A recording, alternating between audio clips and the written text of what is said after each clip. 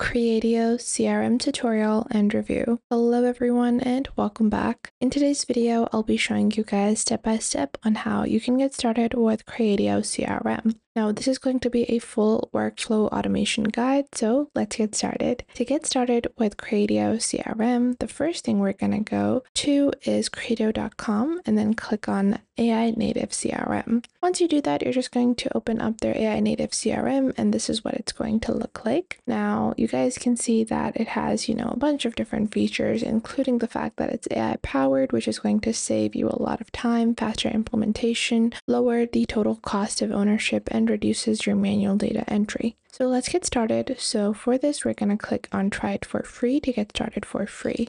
Now you have Studio Creatio and CRM Creatio. We're going to get started with CRM Creatio. And once we do that, we can proceed with our free trial on Creatio's CRM. The first step is to create your account. So we're just going to sign up. You do need a business email and password, or you can sign up via Google, Facebook, or LinkedIn. I'm just going to be using Google for today because this just helps us signing up in a very quick manner. We're just going to be signing up very quickly like so. And then we're going to enter our company, then our country, then phone, and then just click on sign up. We do have to enter our company website and for that I'm going to be linking my Shopify store website. We're just going to quickly open this up over here and once we've opened this up we're just going to open up our online store, copy our website link and paste it here. Then click on sign up to proceed with your account creation on Creatio. Now, once we have proceeded with our basic steps to signing up on Creatio, we can move forward. So you guys can see that they are now creating our account and setting up our dashboard. We will be able to try our full-fledged marketing, sales, and service products integrated into one no-code platform within a few moments. This does not take very long. It takes like 20 seconds or 30 seconds for this entire setup to be completed. So you guys can see it has already started. To load up our full CRM,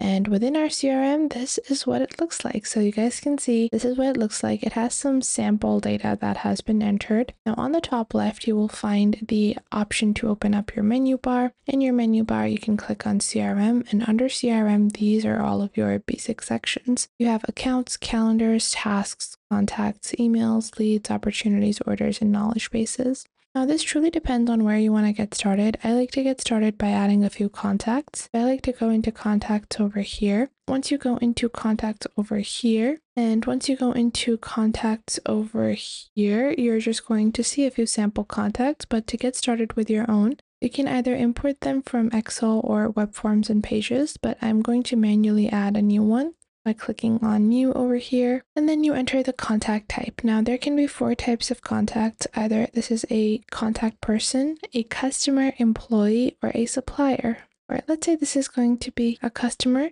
We can select an account and enter their job title and phone number and their name. I'm going to add, let's say it's going to be Snow Smith, and we're just going to add this person just like so. Now the next step is to add your accounts. So click on accounts over here and then click on new. Once you click on new, you can add new accounts and accounts are going to basically be businesses that you're adding. So if you have uh, businesses or companies then you're going to add them under accounts. And each account can be related to a specific person as well. So let's say this is going to be our Logitech account. Logitech and we're going to choose the type. Let's say this is a partner company that we're working with and the industry is maybe tech or the industry. We have a few field, yeah, IT company and we're just going to save it. Now, once we've entered some of the basic contacts and accounts, I ideally recommend you import these rather than adding them manually unless you're just building up your accounts. So once you do that, you're going to proceed with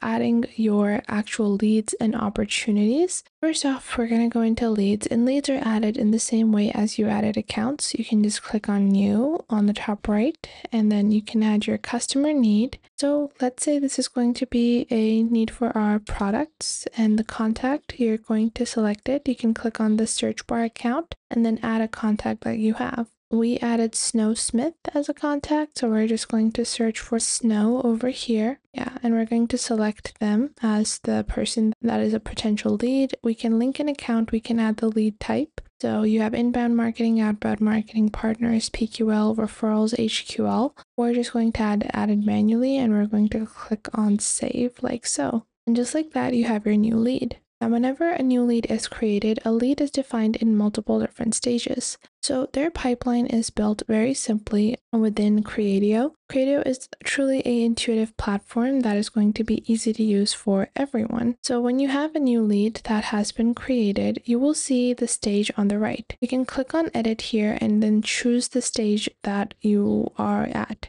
awaiting sale, closed, converted, disqualified, handoff to sales, not interested, nurturing. Let's say this is in the nurturing stage and you just add it like so. You can filter these out and even get summaries for all of these potential leads. Then you have opportunities. So within opportunities, you're going to find a simple list where you have stages as well, including your stage for contacting, presenting, qualification, closed, so on and so forth. If you click on over here, you guys can see these are a few of the lead stages that we have. So you guys can see this includes qualification, proposal, proposal presentation, negotiation, so on and so forth. So these are all your opportunities. Now to further automate all of these things, so we've covered accounts, contacts, as well as leads and opportunities. To automate all of these things, we can go into tasks and we can start adding tasks that are relevant to each one of our opportunities or each one of our accounts, and then just click on new. Then you can simply, whenever you're adding a new task, enter the subject. Then you're going to add the category. So this is going to be um, paperwork. You can choose the status and the owner. And then you can click on show in calendar. You can choose even the start date and the end date of every task and then go into due and then it's due at this time and then just click on save. Then you can go into your calendar and this will be added within your calendar. You can filter out the calendar by each employee so every employee has something to do and all of your scheduled presentations, accounts, and opportunities, anything that needs to be done that has been scheduled will be displayed on this calendar if you're not filtering by employee.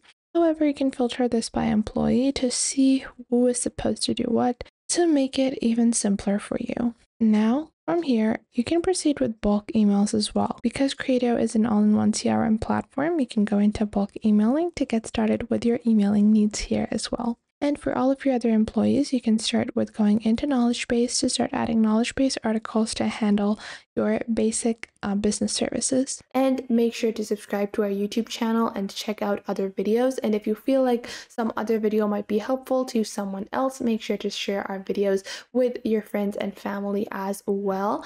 And if you find that there is something missing, I will try to figure out a way to integrate more accurate content according to your needs onto the channel. So make sure to tell me if you find anything missing. So that was it for today. Make sure to leave a like and subscribe to the YouTube channel and I will catch you guys in the next video.